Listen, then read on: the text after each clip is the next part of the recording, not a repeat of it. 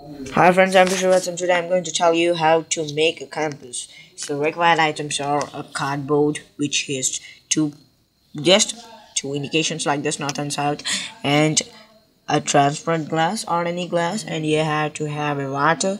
I just put a water your sample glass. Then you're gonna need a small thermocol and a safety pin and a magnet. Okay guys? So now first take up the pin in here rub it for 10 times. As here you know that here it's the permanent magnet has its own just what we say its own properties which attracts the iron. Now I will going to show you how to make compass. Going to do it again I'm going to do it. Wait first magnet. Yeah.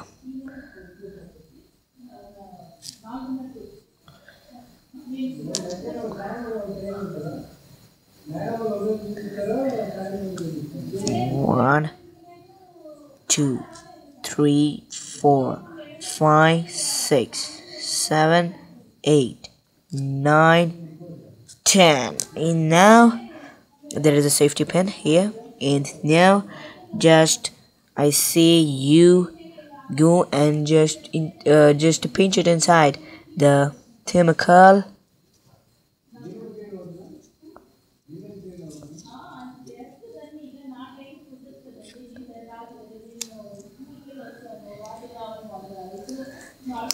like this.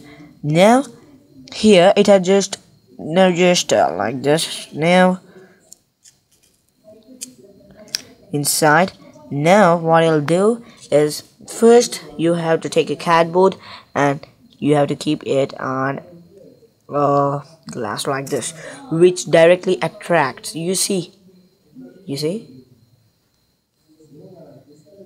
Like this. Then take this now you have to straighten this straight.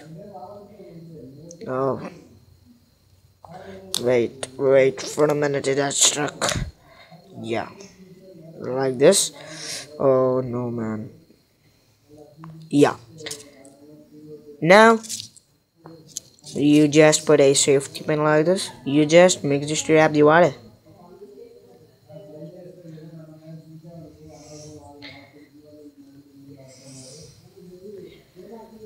so where it tells